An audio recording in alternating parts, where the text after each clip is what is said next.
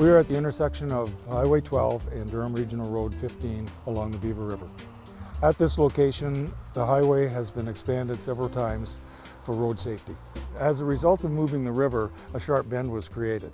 That sharp bend caused river ice to back up in the springtime and for erosion to occur uh, throughout the rest of the year. Erosion is a problem for many reasons. When sand and soil is lost uh, through erosion along river systems, it is carried downstream. When it's carried downstream, it can smother fish habitat and it can be deposited in other areas of the river that will change the flow pattern of the river, creating erosion in other areas. In addition to that, a bare bank offers very little habitat for uh, other species that live along the river and over time, uh, the landowner can also lose land as a result of erosion. The project would not have been completed without the Conservation Authority being involved. I was not prepared to spend any more money, uh, especially at my age.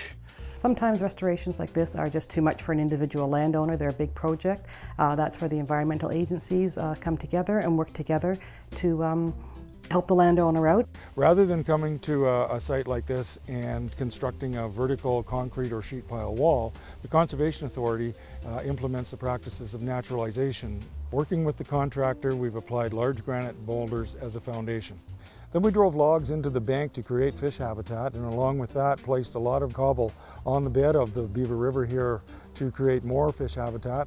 Uh, once that was done, we built the bank up with rock on top of that foundation and placed native vegetation in between the stone to hold everything in place.